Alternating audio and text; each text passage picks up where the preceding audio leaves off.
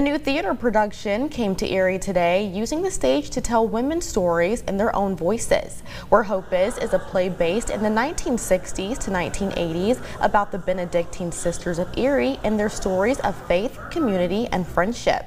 Community members gathered to hear these stories today at the Blasco Memorial Library.